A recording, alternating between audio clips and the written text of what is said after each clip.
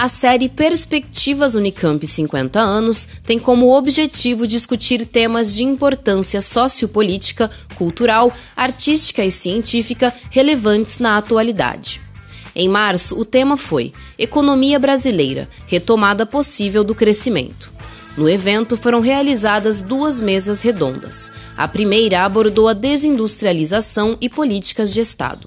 Eu gostaria de cumprimentar os agentes aqui da Unicamp pela iniciativa de promover uma série de debates sobre temas muito importantes para o desenvolvimento do Brasil, em celebração aos 50 anos da Unicamp, que tem demonstrado na área de ciência e tecnologia um papel extremamente relevante ao longo desse tempo todo.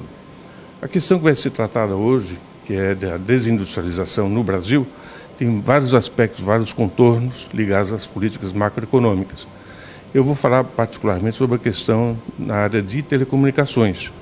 E aí, nesse, nesse contexto, outros fatores muito relevantes começam a acontecer, tendo como pano de fundo as políticas macroeconômicas, mas as questões ligadas às políticas, políticas de desenvolvimento, políticas industriais, políticas de aquisição, a estruturação e a consolidação de um sistema de inovação, a criação de um parque tecnológico relevante, o que acontece, o que aconteceu ao longo do tempo todo com as mudanças de regulamentação, a privatização e os impactos que isso tudo trouxe para a construção de, uma, de um parque tecnológico relevante no Brasil.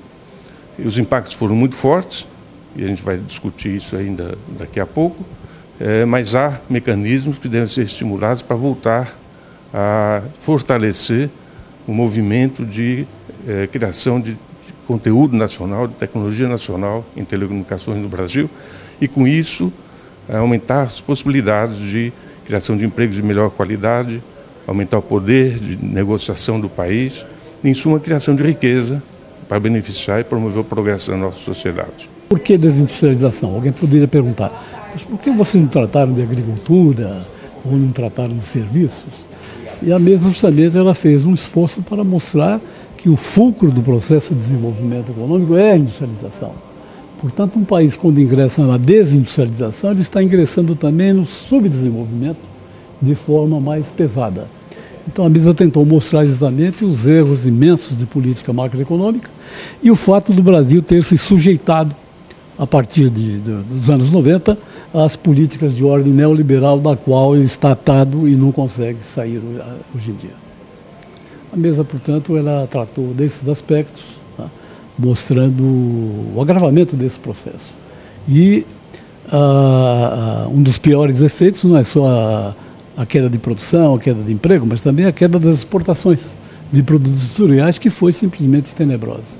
A longa crise brasileira também foi abordada. Especialistas analisaram possibilidades para as reformas econômicas e políticas necessárias à retomada do crescimento mostrando que não se trata de uma crise de curto prazo, não é uma crise da Dilma, uma crise do Lula, uma crise do Collor, é uma crise que nós estamos enfiados nela há mais de 30 anos, sofrendo, portanto, toda sorte de efeitos negativos internacionais e nacionais. A crise dos anos 80, que foi perversa, a abertura comercial desregrada que se fez a partir dos anos 90 e a sujeição que este país fez ao capital financeiro internacional, fazendo com que ele ele não seja mais dono da sua moeda, nem do juro e nem do seu dinheiro. E, portanto, ele está submetido às decisões do capital financeiro internacional. Eu vou falar sobre o comércio internacional, que me parece pode ser uma das maneiras de ajudar o Brasil a sair da crise e já está dando uma contribuição, porque é, graças à correção do câmbio, nós estamos com um ajuste muito rápido no setor do comércio, é, reduziu-se muito o déficit em conta corrente, estamos já começando a ter um resultado comercial mais encorajador. E eu vou procurar mostrar o que está acontecendo em termos mundiais, o declínio do crescimento do comércio mundial em relação ao aumento da produção e o que isso pode sugerir como estratégia para o Brasil sobretudo em relação a um crescimento é, do próprio mercado interno brasileiro e dentro da América do Sul. É verdade, né? A gente tem um período muito de, de, de crescimento do produto muito baixo comparado é, com o período anterior, se a gente comparar o período pós-80 e, e pré-80, entre 30 e 80 do século passado. Então, vou falar nessa perspectiva, nessa chave de longo prazo, é, mas evidentemente que pautado por essa crise aguda né, que a gente está vivendo hoje, que, enfim, é, a gente tem que é, pensar as uh, possibilidades de sair desta crise agora, que é uma crise também política, né? então não passa só pela economia, mas sem deixar de lado é, a perspectiva do longo prazo, porque sem um projeto de nação uh, você vai ficar indo de conjuntura em conjuntura e não, não vai tirar o país é, do seu estado de, de pouco desenvolvimento. A questão da crise é a questão que vai ser discutida este ano e nos próximos anos.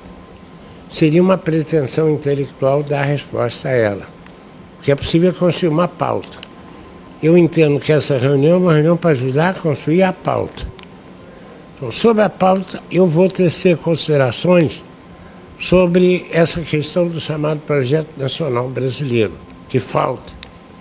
E quero dizer que, na verdade, existe um projeto, só que ele está relegado a uma ausência de discussão, que é, está contido na própria Constituição de 1988.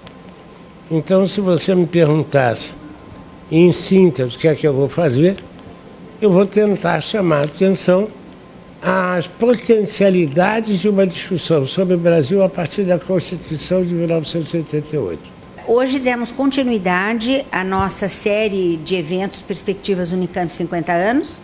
É, na verdade, a reabertura desses eventos na série 2016. Os temas foram discutidos é, em profundidade e é, soluções e propostas de soluções apresentadas, temos certeza que serão úteis para o momento sociopolítico que o país enfrenta.